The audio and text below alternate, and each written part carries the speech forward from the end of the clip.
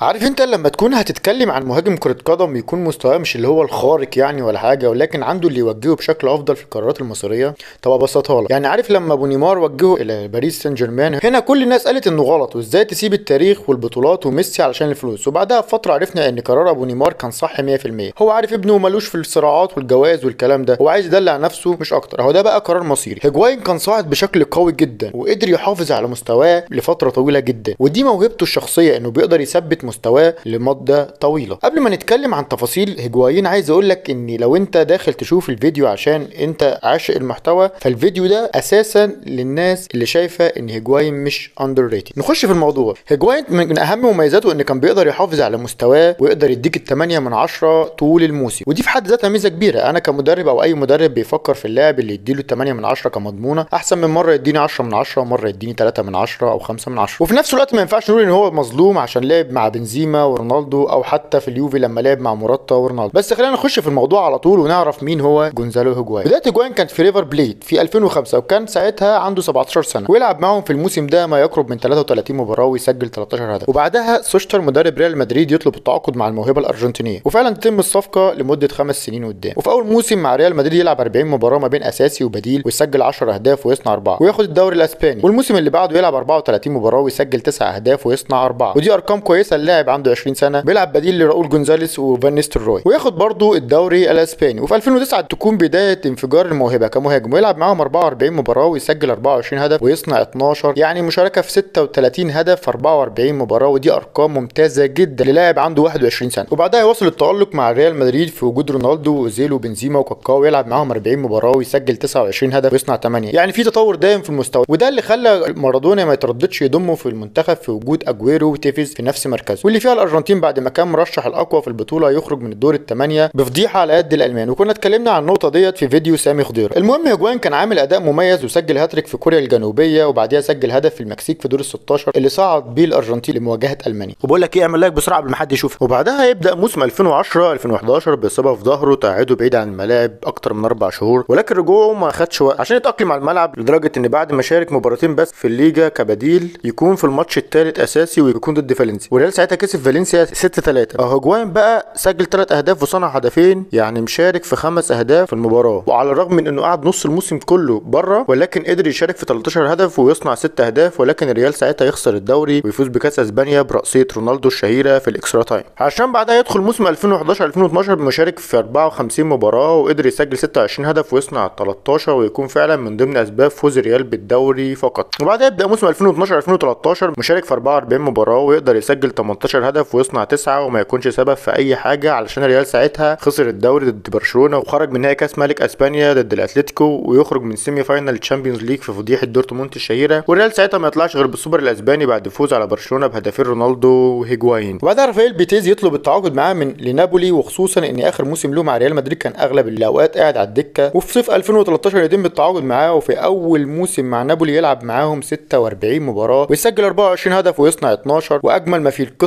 إنه محافظ على أرقامه والثبات على المستوى. مع إن الطبيعي إن الانتقال لفريق جديد بيحتاج فترة علشان الانسجام لكن هجواين ملوش دعوة بالكلام ده وملوش دعوة بالطبيعي. والدليل على إن هجواين ملوش دعوة بالطبيعي إنه قدر يكون السبب الأكبر في حصول نابولي على كأس إيطاليا وتحديدا بعد ما سجل هدف الفوز على لاتسيو في دور ال 16 وبعدها سجل هدف في الفوز على روما في قبل النهائي حتى النهائي صنع هدف في الفوز على فيورنتينا وأخيرا نابولي بطل لكأس إيطاليا. بقول لك يا عم ملوش علاقة بالطبيعي. المهم في نفس الموسم ياخد كأس إيطاليا وفي نفس الموسم ينضم للمنتخب لكأس العالم 2014 اللي الارجنتين وصل للنهائي فيه. وهو كان بيلعب أساسي في البطولة دي. وهو اللي كان سجل هدف الفوز على بلجيكا في دور الثمانيه اللي بيها توصل الأرجنتين للنهائي وتخرج لتاني مرة على التوالي على يد الألمان. والموسم اللي بعده يستمر في التألق ويلعب 58 مباراة ويسجل 29 هدف ويصنع 11 وياخد السوبر مع نابولي على لا استنى أنا قلتها غلط. أقصد إن نابولي هو اللي أخد السوبر مع هيجواين وليه بقى أقول لك أنا؟ بص السوبر ساعتها كان ضد اليوفي اللي كان متقدم بهدف لحد الدقيقة 68 لحد ما هيجواين يسجل التعادل ويروحوا لل extra time واليوفي يسجل الهدف الثاني في الشوط الإضافي الأول وتستمر البطولة اتجاه اليوفي لحد ما هيجواين يقرر يتدخل وتحديدا في الدقيقة 118 ويسجل التعادل ويوصل لركلات الترجيح اللي فاز فيها نابولي لأول مرة من أكتر من 20 سنة والتاني مرة في تاريخ نابولي. ومش بس كده ساعتها يدخل في تشكيل الموسم في الدوري الإيطالي. وفي سنة 2016 يصنع تاريخ شخصي ويلعب 42 مباراة ويسجل 38 هدف ويصنع 3 وياخد هداف ال Serie A ومش بس في الموسم لأ ده هو كان سجل أعلى معدل تهديف في تاريخ الدوري الإيطالي في موسم واحد. تخيل قيمة الجملة دي في دوري لعب فيه باتيستوتا وديل بيرو وتوتي ورونالدو الظاهرة وإلى آخره. ووسط ما الجماهير الايطاليه كلها بتتكلم عن المجد اللي صنعه يروح هو مغفل الدنيا كلها ويمضي مع اليوفي بعد العرض الخيالي ب 90 مليون يورو علشان تكون أغلى صفقة في تاريخ الدوري الإيطالي إلى الآن. وساعتها رئيس اليوفي يقول عنه إنه خاين وناكر للجميل ومارادونا نفسه يطلع يتكلم ويقول إن هيجواين خاين بس هو ملوش دعوة بالكلام ده يابا دول 90 مليون يورو. وموسم 2016 2017 يكون الأول له مع اليوفي ويشارك في 55 مباراة ويقدر يسجل 32 هدف ويصنع أربع أهداف. والأرقام دي كلها بعد انتقاله للنادي المنافس والضجة الإعلامية اللي حصلت ضده ما تفقدوش تركيزه لأنه إحنا زي ما اتفقنا هو ملوش علاقة بالطبيعي. المهم ساعتها اليوفي يفوز بالدوري والسوبر الإيطالي ولكن أهم حدث هو خروج اليوفي من نهائي ال Champions League ضد ريال مدريد ولكن ساعتها هيجواين يفوز بلاعب الموسم في اليوفي ويدخل فريق السنة للدوري الإيطالي للمرة الثانية على التوالي مع فرقتين مختلفين. علشان بعدها يبدأ موسم 2017 2018 باستمرار على أدائه ويقدر يسجل 23 هدف ويصنع أربعة وبرضه يكون من ضمن أسباب فوز اليوفي بالدوري والكأس الإيطالي. وبعدها يطلع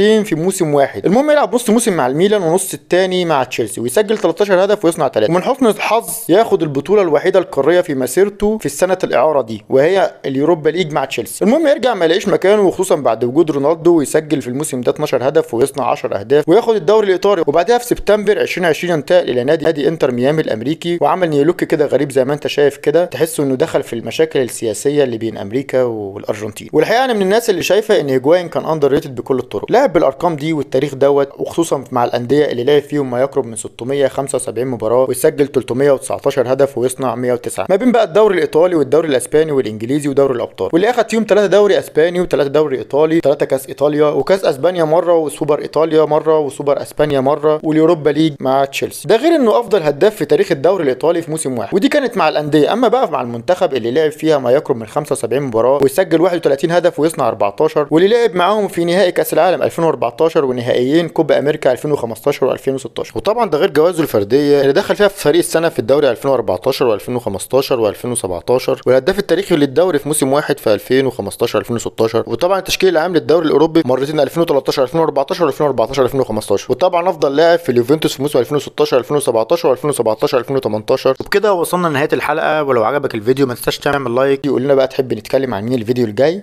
سلام.